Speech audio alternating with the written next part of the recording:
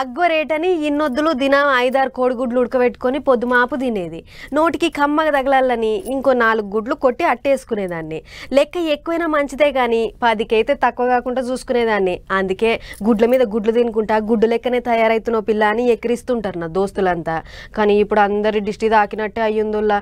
కోడిగుడ్లు కూర రాకుండా కొండెక్కినాయి. పాన్రి అటు లెక్కేందో అరుచుకొని వద్దాం. ఇన్నొద్దులు కార్తీక మాసం కాబట్టి కోడి కొండ దిగింది. చికెన్ అగవకు దొరికింది. కానీ ఇప్పుడు కార్తీకం ఒడిసింది కోడి మళ్ళా కొండెక్కే గడియల దగ్గర పడ్డాయి. అయితే కోడి ముచ్చటేమో గాని ఎన్నడు లేనిది ఇప్పుడు కోడి గుడ్లు పిరమైనాయి ఇన్నొద్దులేమో నాలుగు రూపాయలకు ఎక్కువ ఆరు రూపాయలకు తక్కువ అన్నట్టు ఉండే కోడి గుడ్ల రేటు. అసొంటిది ఇప్పుడు నెల దినాలనే అమాంతం గుడ్డు తినేటోళ్ళంతా ఏడ్చేటట్టు ఏడు రూపాయలకు పెరిగింది ఒక్కో కోడిగుడ్డు ఖరీదు.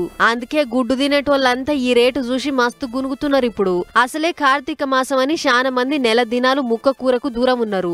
ఒక్క ముక్క కూరకనే కాదు కోడి గుడ్డు కూడా ముట్టలేదు ఎవ్వళ్ళు. అసొంటిది ఇన్నొద్దుల పాయరవంతా తీర్చుకుందామనే టైంకు గిట్లై పాడవాడే. నెరి పెళ్ళిగాని మొగ పొల్లగాళ్ళకైతే చాలా తిప్పలే ఉన్నది. ఎందుకంటే అల్కగా వండుకోవచ్చని దినం కోడిగుడ్ల కూర గోలిచ్చుకొని కడుపు నింపుకుంటారు. అసొంటిది ఇప్పుడు కోడిగుడ్ల రేటును చూసి గుడ్లు తేలేస్తుర్రట పాపం. అయితే ఈ దీనన్నిటికీ కారణం ఏందయ్యానంటే కార్తీకంలో చికెను కోడిగుడ్లు ఎక్కువ తినరనే కోళ్ళ ఫారం వాళ్ళు నడిపేటోళ్ళు కోళ్ళను పెంచుడు సగానికి సగం తగ్గిచ్చిర్రట. అట్లా కోడిగుడ్లు సప్లై తగ్గిందన్నట్టు. అట్లని ఇదేం కొత్త కాదు.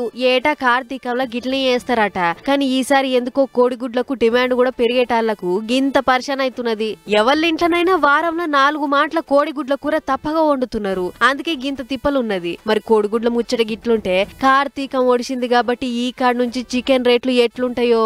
ఏమైనా నీసు తినేటోళ్ళకు కష్టకాలమే ఉన్నది పొర్రి.